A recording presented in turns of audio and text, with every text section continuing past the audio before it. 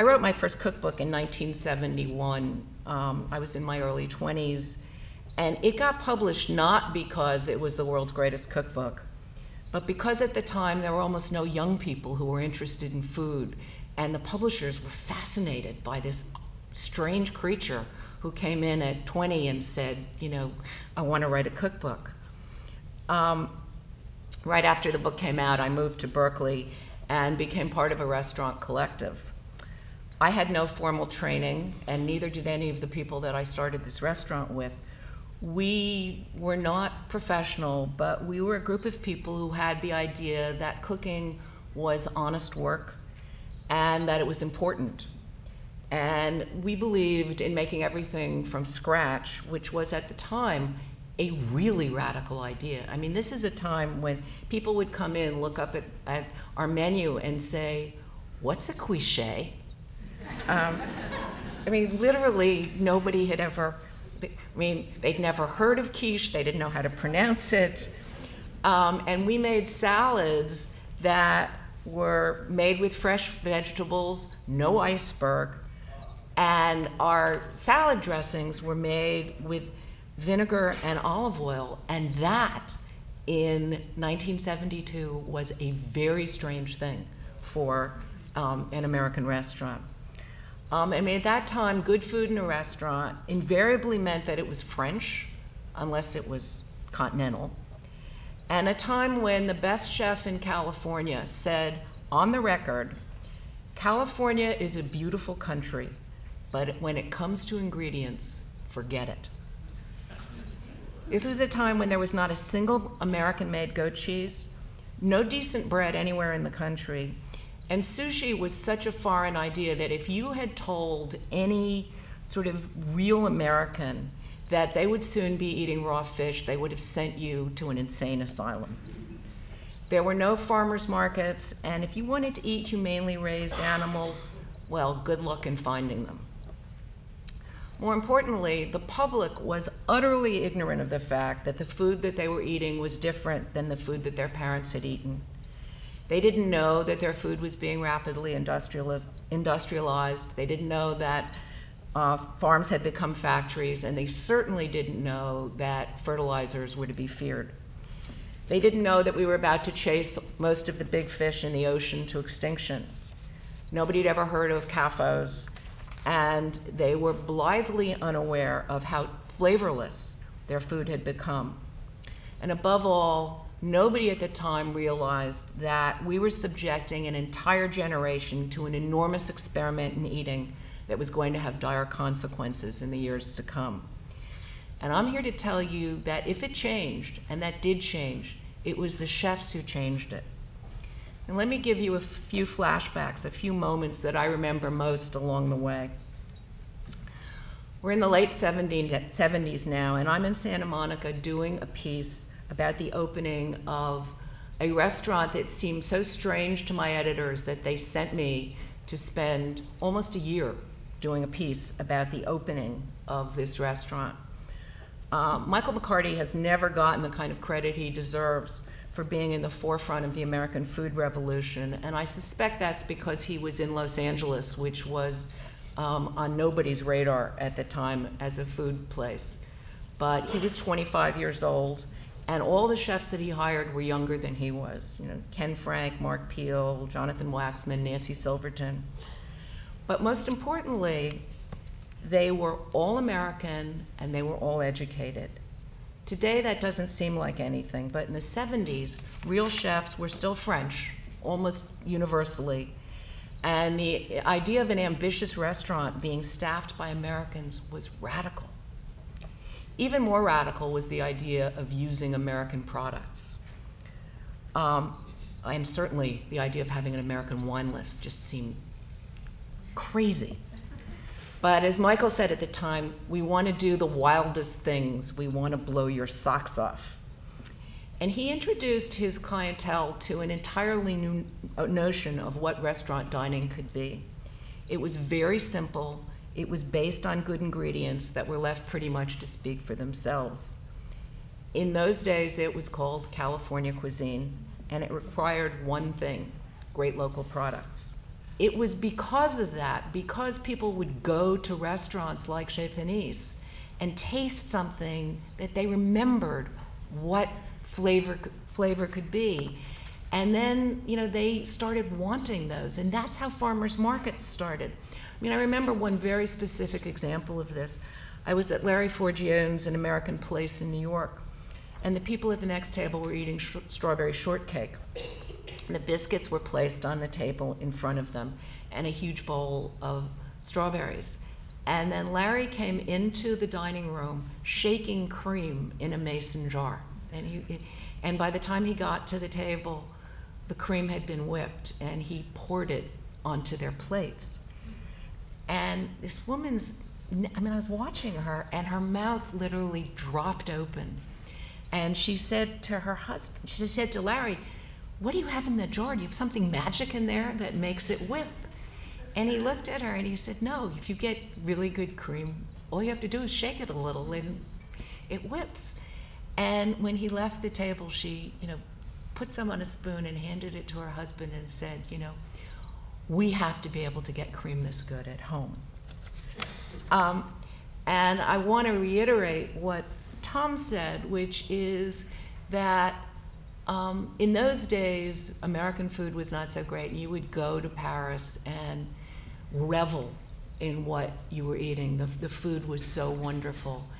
And we do not understand what has happened in this country. We still are very shy about being proud of our artisans. But American food, I now think, is the best food in the world. We have artisans and farmers and people who are making jam and bakers and um, these artisans are making food that is so much better than what you can get in Europe these days um, that it is stunning. And we need to really be proud of this fact that while the Europeans, and I think it's partly because of the EU rules, which have sort of created a kind of homogenization, that while they've given up their patrimony, we have reclaimed it.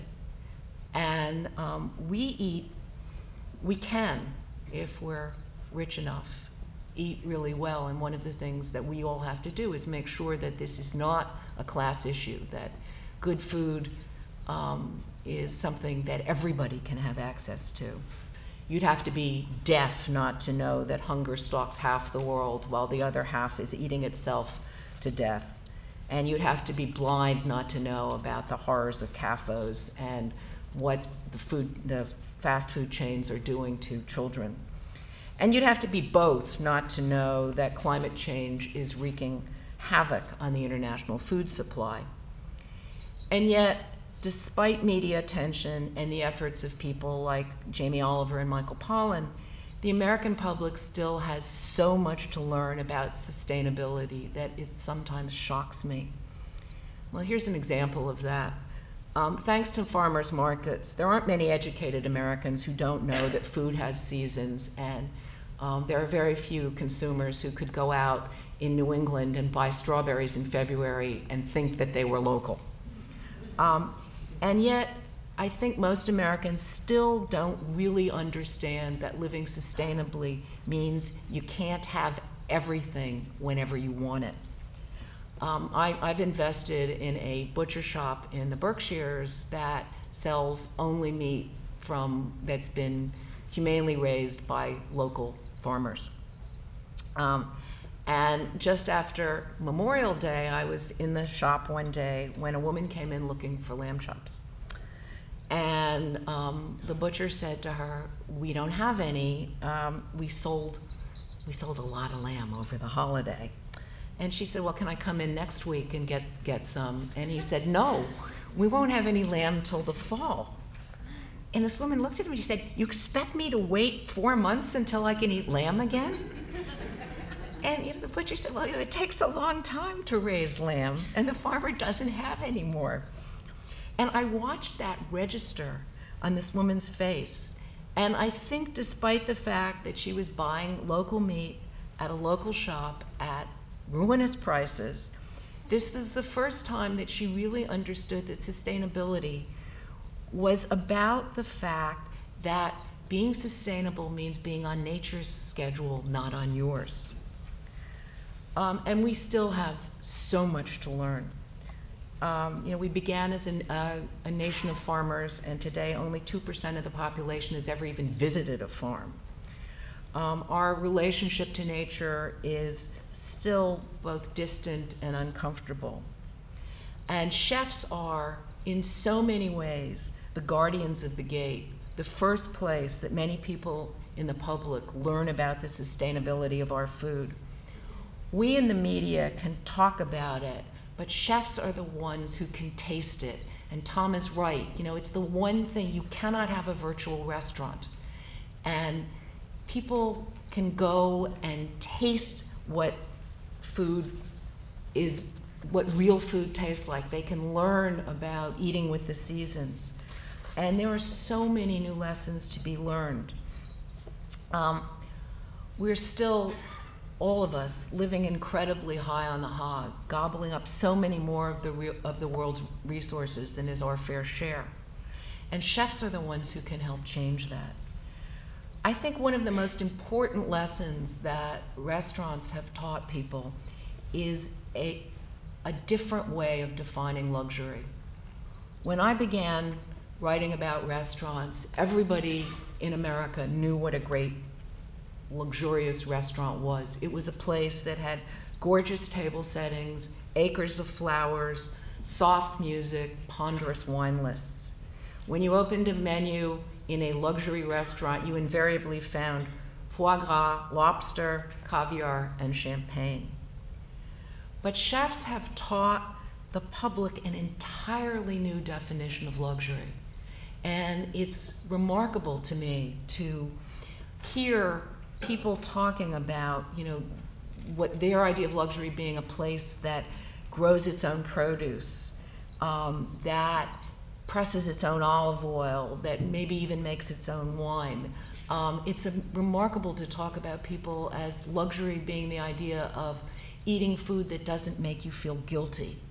Um, that is a stunning change.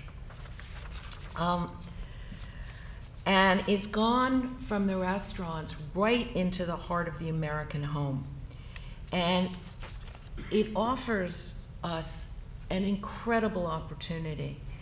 Um, I had an, um, just to bring this back to Top Chef Masters, yesterday at the airport, I had a really extraordinary experience. I was standing in one of those endless lines to go through security. I mean, it was, and you know, we, we wove back and forth and we were all sort of get to this point where we would see the people next to us and then the line would move on. And this woman, woman kept staring at me, and then the line would move on, and then it'd come around again, and she'd stare at me. And about the fourth time that we were together, um, she said to me, um, I have to tell you this. She said, I just watched the finale of Top Chef Masters, and um, I watched your face as you were eating that tripe, and I've never wanted to eat tripe but you looked like you really liked it. And she said, and, and, last night I was in a restaurant and I ordered tripe for the first time in my life. And I thought, you know, I mean, when I started doing Top Chef Masters, uh, my agent said, you know, why do you want to do this silly reality TV show? And in this one moment, I thought, you know, this is why you do that. This is because we all talk about nose to tail eating, we can talk about it till the cows come home unless we can make people understand that they want to eat tripe, they want to eat blood sausage, they want to eat heart, they want to eat liver. Um, nose to it's just a word. But uh, if chefs can go on TV and make Americans think that tripe is delicious, which it is, um, that is that is a wonderful thing. You know, we, we have all heard endlessly about the new celebrity of chefs, and we see it get demonstrated over and over and over again. When I began my career as a restaurant critic, being a chef was still a blue collar job. It was done almost exclusively by uneducated men, and in those days it was men. Um, and um, they went to work in restaurants when they were still teenagers and worked their way up. And I, I saw, you know, Robert Del Grande uh, this morning, and I remember that in the first years when anybody wrote about his restaurant, everybody put into it that he had a PhD because it was the idea of somebody with a PhD wanting to be a chef was such a radical idea. Um, the people who worked in restaurants basically were working for modest salaries and no fame. Patrons might know the name of the restaurateur, but they almost never knew the name of the person at the stove. Well, that's certainly changed. I mean, today's chefs are highly educated men and women who are charismatic and articulate and leaders. And they can hope, if they're talented and very lucky, to be very famous and very rich. But I would argue that with that change has come a real responsibility. Restaurants today are different than they once were. They're not just businesses anymore. If the landscape has changed for the patrons, it's changed for the chefs too. You can all go out there and make great names for yourselves because restaurants are no longer just places to eat, and chefs aren't just the people manning the stoves. Restaurants have become cultural institutions, and chefs have become cultural icons. And if chefs want all the new perks that come with being a chef, then they have to accept the responsibility as well. Yes, you can become rich and famous, but while you're doing that, you can also change the world.